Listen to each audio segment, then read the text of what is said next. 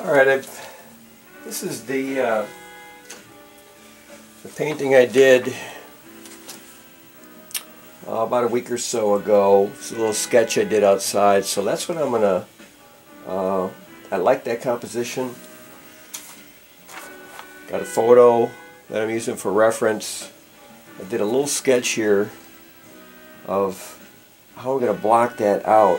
I'm to look for my center of interest here. Divide the canvas three ways. And this is where I'm going to put that uh, this piece here with the, the creek. So got a real loose uh, turpentine down version of transparent red oxide and a little bit of ultramarine blue deep. So let's just kind of sketch this in real loosely.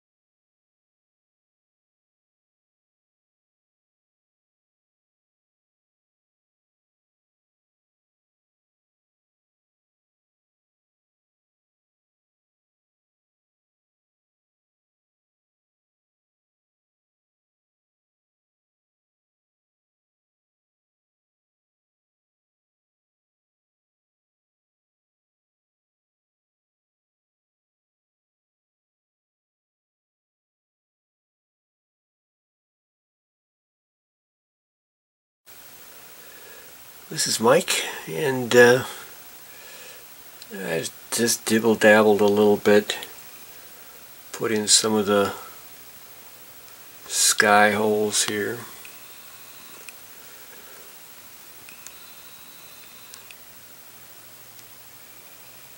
Touched up that uh, branch. Hit the tree a little bit. But uh, I'm liking the way it worked out. Got about four hours into this one. Took a little bit longer.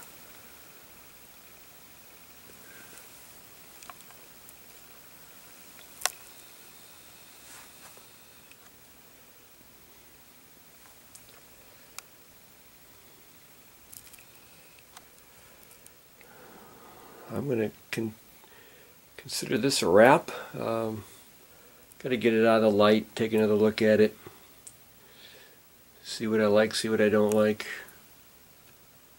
But uh, I'm done with this one. Thanks for watching.